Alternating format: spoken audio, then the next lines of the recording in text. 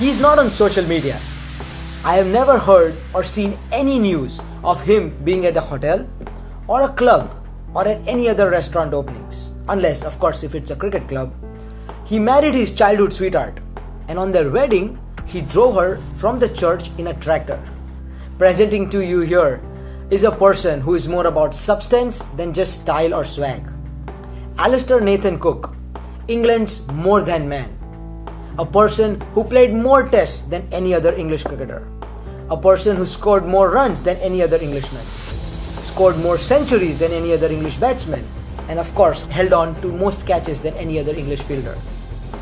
A hundred on debut against India in Nagpur on a turning track, having flown in across the world from the Caribbean to replace an ill Marcus Trescothick. To a hundred against India at the Kia Oval in London in his last test match just yesterday. As Joe Root said, this indeed is a story, a script written in the stars. Hey, hi friends. This is your host Yash Khandor once again from the International Cricket Network 360, ICN 360, as you all know. On this episode, we have Mr. Simon Katich. Hey, hi Simon, how are you? Very good, thanks. The coach for the Trinbago Knight Riders, as we all know.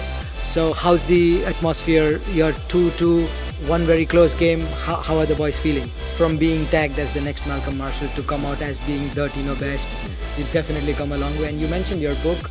I saw. I, I remember seeing your book, and it's a, it says a foreword by Andrew Flintoff. Right from that cheeky sledging incident all the way to he writing the foreword for you, it seems to have come a full circle, isn't it?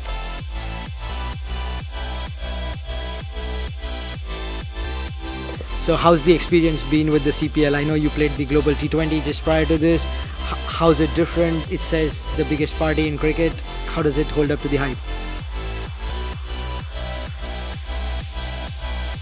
You look like really fit back coming back from an injury. How's the journey been? I know it's not easy myself having played cricket to stay fit and also especially come back from an injury. How's the journey been?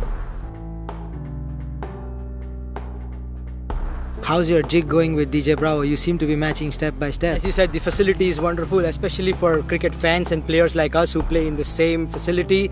It's an it's a great opportunity. What do you think about the US players making an impact? Like in the recent cricket Cricinfo article, we saw Ali Khan was the bowler of the week. We have Saurabh Netravalkar here for the Guyana Amazon Warriors, who represents American college cricket as well.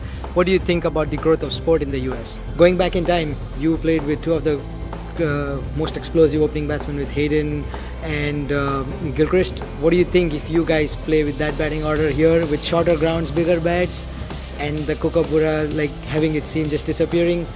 What do you think? You'd have had a blast batting here. This CPL has been the tournament for leg spinners, especially if it's the first ball of their spell, isn't it? Like three leg spinners, all of them getting wickets at the first ball. What do you think about the pitches even in the Caribbean and the evolution of wrist spin just in cricket in general? It's the last question with your bowling action, which is wrong footed. Does it come naturally? You developed it. How is it? It looks wonderful to well, see.